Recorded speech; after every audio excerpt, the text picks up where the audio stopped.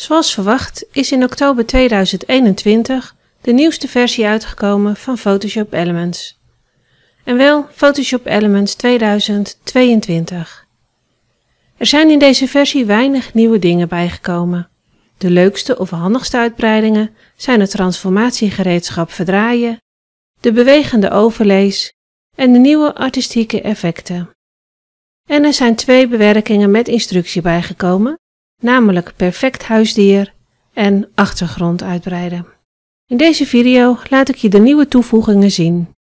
Dit is de organizer van Photoshop Elements 2022.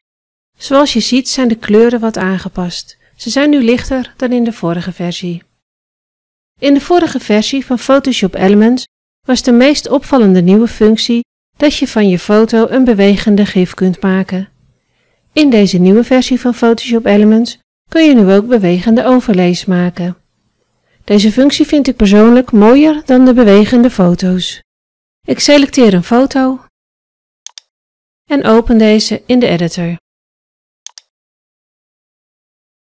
Deze foto hebben wij vorig jaar gebruikt voor onze kerstkaart. In plaats van een kaart kun je ook een film maken die je bijvoorbeeld op je Facebookpagina zet. Je doet dat via het menu Verbeteren, Bewegende overlays. Rechtsbovenin kun je kiezen uit overlays, afbeeldingen en frames. De overlays zijn nu actief en die zie je hieronder staan.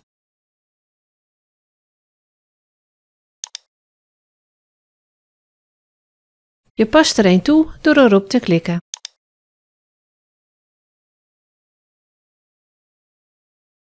Links van het scherm kun je op deze pijl klikken om te zien hoe het er bewegend uitziet.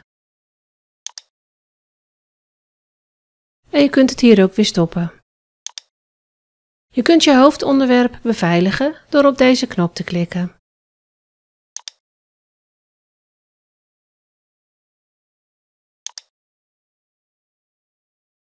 De hartjes gaan niet meer over de personen heen.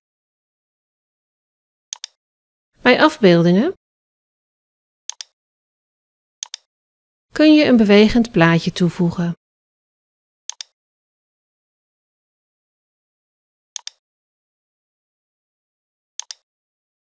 Je kunt deze verplaatsen en weer verwijderen. Tot slot kun je nog een frame toevoegen aan je foto.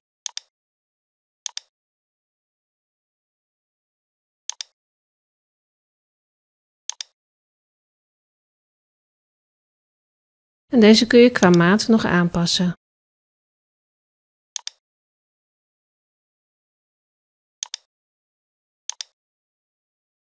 Het is wel een beetje een druk geheel geworden nu. Als je tevreden bent met het resultaat, kun je het geheel exporteren. Je maakt er dan een mp4 van, een filmpje dus, die je kunt gaan gebruiken, bijvoorbeeld op je sociale media. Ik klik nu op annuleren en ik sla de wijzigingen niet op. En ik sluit de foto door op het kruisje te klikken. In Photoshop Elements 2022 is er een nieuw transformatiegereedschap aanwezig. Dit is naar mijn idee het meest nuttige in deze nieuwe versie. Ik open de foto van de mok en van het hondje. Dit was ons hondje Femke. En ik wil nu de foto van het hondje op de mok plaatsen. Daarvoor zet ik eerst de foto van de hond in de foto van de mok. Er zijn veel verschillende manieren voor, die je kunt leren in onze duidelijke online cursus Photoshop Elements. Het gereedschap verplaatsen is actief en ik sleep de foto naar het tabblad van de mokfoto. Ik sleep weer naar beneden en hier laat ik los. Als je nu gaat naar het menu Afbeelding, Transformatie, dan zie je dat er een nieuw transformatiegereedschap bij is gekomen, namelijk Verdraaien. De foto is nu in negen vakken verdeeld. En je ziet ook verschillende rondjes en blokjes op de rand van de foto. Dit gereedschap geeft namelijk heel erg veel mogelijkheden om de vorm te veranderen. Je zou bijvoorbeeld kunnen beginnen met deze knop hier, aangepast. Deze opties komen je waarschijnlijk bekend voor van het werken met tekst. Kies bijvoorbeeld eens voor vlag of voor boog. Je zou dit als uitgangspunt kunnen gebruiken voor het vervormen. Om deze bewerking te annuleren, klik je op de rode cirkel. Er is ook een andere manier om bij de functie verdraaien te komen, namelijk via het gereedschap Vrije Transformatie. Die is het snelste op te roepen via de toetscombinatie Ctrl-T. En voor het verdraaien klik je op dit icoon. Nu kun je weer de foto gaan manipuleren.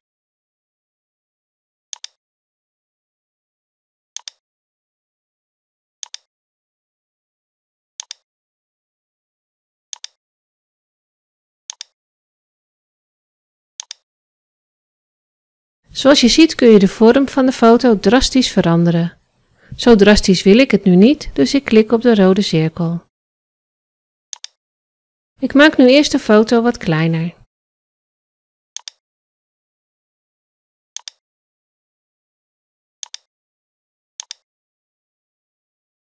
Ik wil de foto op een realistische manier op de mok plaatsen. De foto is nu te vierkant en loopt niet mee met de rand van de mok. Ik kies nu weer voor verdraaien via deze knop.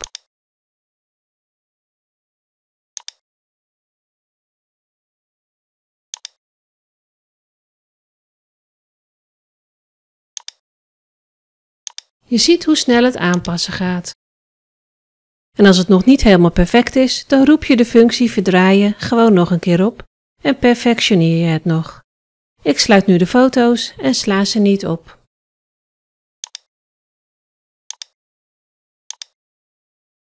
Ik open de foto met de waterlelie. Het tabblad effecten is ook vernieuwd in Photoshop Elements 2022. Er zijn nu twee tabbladen in het deelvenster. Klassiek, met de effecten zoals ze er altijd al waren. En het nieuwe tabblad, Artistiek. Hieronder zie je allemaal verschillende stijlen. Als je goed kijkt herken je wat bekende schilderijen. Je kunt nu zo'n stijl toepassen op je foto door erop te klikken.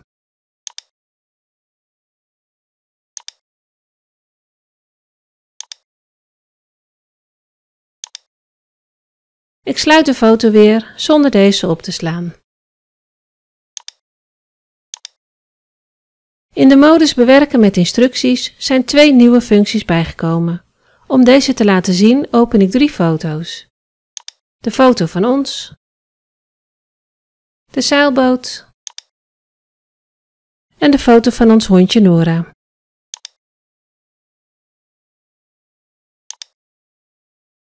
En ik kies voor met instructies. De nieuwe bewerkingen vind je bij de speciale bewerkingen. Tussen het perfecte landschap en het perfecte portret staat nu het perfecte huisdier. En wie wil dat nou niet, zou je zeggen. Ik selecteer de foto van Nora en ik klik op Perfect huisdier. Ik loop even snel door de instructies heen. Heel opzienbarend zijn ze eerlijk gezegd niet, zelf zou ik deze handelingen allemaal gewoon in de expertmodus uitvoeren. Ik maak een uitsnede.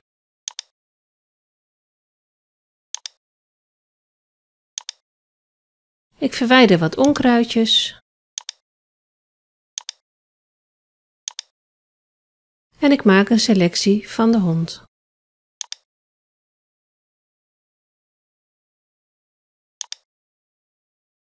En ik werk deze nog een beetje bij.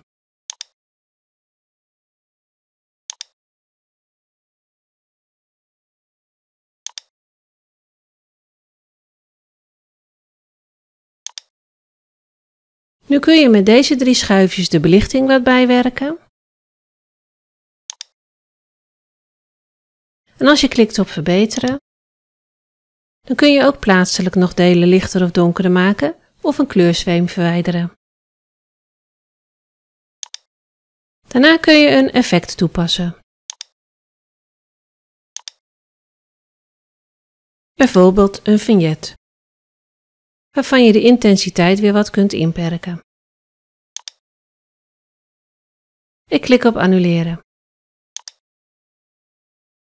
We bekijken nu de andere nieuwe bewerken met instructies. Dat betreft het uitbreiden van de achtergrond. Ik gebruik daarvoor de zeilbootfoto. Je ziet hier een zeilboot met vier windmolens. Je kiest eerst een canvasgrootte. Bijvoorbeeld een Facebook-omslag. De foto moet aan beide zijden flink uitgebreid worden. Photoshop Elements heeft al automatisch de delen geselecteerd die opgevuld moeten worden. Er zijn twee methodes om het geselecteerde gebied te vullen. Bij de eerste methode wordt het gebied automatisch gevuld en bij de tweede methode wordt je foto als het ware uitgerekt, waarbij je in de foto kunt aangeven welke delen niet uitgerekt mogen worden.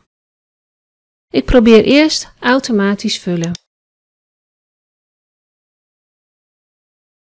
Dit ziet er best aardig uit.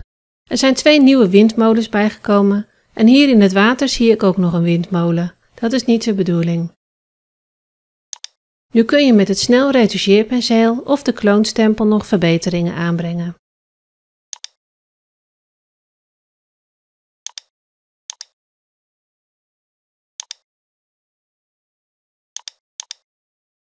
Ik klik op afbeelding herstellen om de andere methode te laten zien. Ik kies weer voor Facebook-omslag.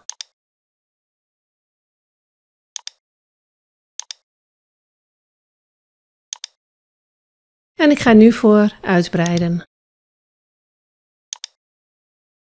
Ik geef aan welke delen ik wil beschermen in de foto. Dat zijn de windmolens en de zeilboot en ik klik op gereed. En dit is de opgerekte foto. De windmolens zijn intact, maar staan verder uit elkaar. En aan de zee zie je duidelijk dat de foto opgerekt is. Dit is leuk voor een klein plaatje, maar ik zou de foto niet vergroten en inlijsten. Ik klik op annuleren. Je begrijpt natuurlijk dat dit niet voor alle foto's even goed werkt. Kies ik bijvoorbeeld deze foto,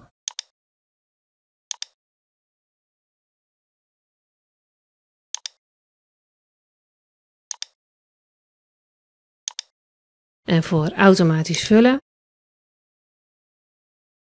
dan krijg ik dit. Daar is geen retoucheerpenseel of kloonstempel tegen opgewassen. En als ik ga uitbreiden,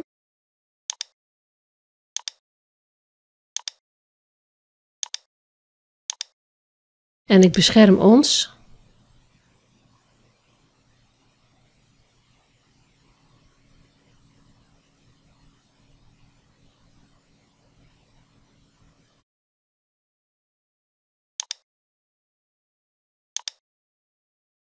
dan krijgen we dit.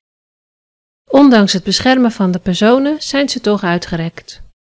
Hm, eigenlijk best komisch voor de kerstkaart. Hopelijk heb je een goed beeld gekregen van de nieuwe functionaliteiten van Photoshop Elements 2022. Er zijn niet heel veel functionaliteiten bijgekomen. De meest nuttige is waarschijnlijk het verdraaien. Als je daar veel gebruik van denkt te maken, zou je zeker kunnen overwegen om te upgraden. De andere nieuwe functionaliteiten zijn leuk, maar niet echt noodzakelijk.